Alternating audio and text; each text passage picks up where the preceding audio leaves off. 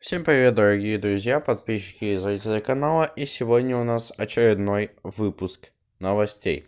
И начнем мы со скриншотов, которые SCS опубликовали, как обычно, в своем блоге и инстаграме.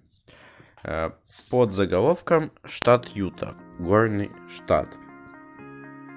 Так что же стоит за захватывающими э, э, скальными образованиями, которые, как, которыми так славится штат Юта, созданные в результате уникальной геологии района и миллионов лет эрозии. Эти, эти невероятные э, скальные структуры можно найти в основном в штате Юта. Известно, что является фон, э, известно, что они являются фоном западных фильмов и мультфильмов они стали одними из самых узнаваемых камней в мире. Многие из них стали охраняемыми памятниками, заповедниками и национальными парками. К счастью, воссоздание этих знаменитых природных достопримечательностей в новом дополнении не заняло наших художников и дизайнеров миллионы лет. Тем не менее, их создание было непростой задачей для нашей команды с обширными исследованиями, э, прототипированием и использованием совершенно нового программного обеспечения для изучения. Процесс создания занял некоторое время. Ну и как обычно у нас было э, около 10 скриншотов, а точнее 12. Э, в принципе, что обсуждать, я думаю, нет смысла. Вы видели сейчас сами и вот сейчас видите. Очень круто и как бы из следующей новости мы поймем, что штат Юта выйдет, скорее всего, где-то в конце октября или начале ноября. Но мне кажется, что все-таки еще в октябре выйдет. Ну что ж, переходим к следующей новости. Ну и вчера произошло очень интересное событие. Очень знаменательное. У нас начался открытый бета-тест версии 1.36 American Truck Simulator. Ну что ж, э, ну и главное, кто хочет сейчас э, пройти этот бета-тест, э, вы должны были уже пройти э, ивент, который сейчас проходит.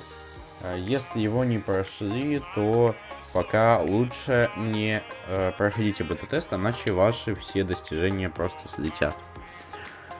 Так, ну давайте зачитаю как бы предисловие.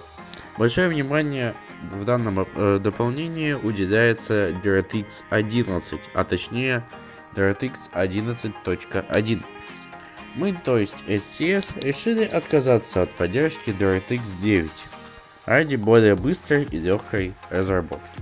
Ну и после того, что я сказал, кто еще не в курсе, владельцы э, компьютеров достаточно слабых э, поперхнулись, наверное, потому что э, SCS уже четко заявила, что все, мы отказались от э, старого движка, от DirectX 9, переходим на 11, и в чем плюс, как бы, да, подтянется графика, скорее всего, со временем, она уже подтянулась э, по каким-то параметрам. Э, лучше оптимизация, быстрее разработка будет идти, они будут делать только под один движок. Но э, проблема в том, что у многих, даже не у многих, но у большого количества людей видеокарты просто не поддерживают DirectX 11. И это очень печально, потому что, ну, если... То, что происходит в American Truck Simulator, в любом случае произойдет в Truck Simulator, а скорее всего бета-тест 1.36 в Truck Simulator втором начнется уже сразу после АТС, ну, примерно через неделю, я так думаю, а то и меньше. Ну, давайте дальше. Э, поэтому, начиная с 1.36, наши игры не будут совместимы с системами, работающими на DirectX 9. Ну, это я уже об объяснил. Ну что ж, давайте по списку изменений. Э, таких глобальных изменений, как в 1.35 не было, но есть очень интересные пункты. Так, ну, добавились у нас э, три вида прицепов. Прицеп зерновой бункер. Э, он у нас э, в покупку доступен. Прицеп для перевозки цепучих грузов тоже доступен э, в покупку. И фракционный э, контейнер, э, который в покупку у нас недоступен по понятным причинам. Это из у нас прицепов.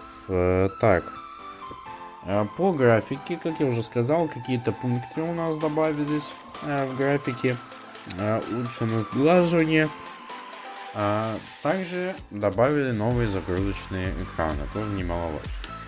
Были изменения у нас с картой, теперь можно э, посмотреть, где находится ваш водитель, какой у него э, груз сейчас, именно как он проложен. Раньше можно было это поставить, но сейчас нужно прям э, четко. Но э, стоите на дорогах, к сожалению, пока что нельзя с моего водителя.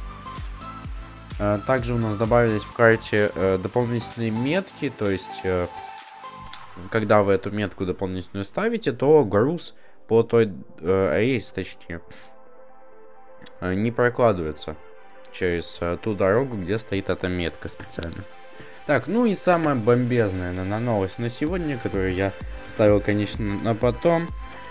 У нас обновлены э, город э, Флагстав, это у нас штат Аризона, и Санта-Крус, это штат Калифорния.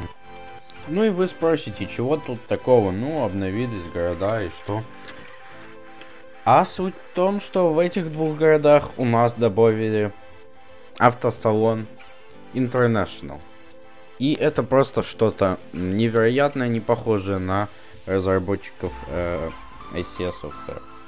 Э, дело в том, что автосалоны не действующие, то есть просто они как э, модель существуют уже. Э, ну и это даже уже на ним намек, это как бы вот готовый факт. Нас ждет э, тягачи International. В первую очередь International Lone Star. Такой страшненький, как многие говорят. Ну, возможно, я в чем-то соглашусь. И, возможно, еще каких-то тягачей, пока информации об этом точной нету. А, ну и также как бонус, которому вы можете не верить и будете абсолютно правы, но появилась информация, что в коде игры, точнее, ну да, в коде игры у нас уже существует э, автосалон Mac. Э, и как я в прошлом выпуске новостей говорил, что производилась запись э, звуков Mac Антон. Антон. Не знаю, как правильно, честно говоря. Уж не судите строго. В принципе, на этом все. Пишите свое мнение в комментариях, ставьте лайки, подписывайтесь на канал. Всем удачи, всем пока.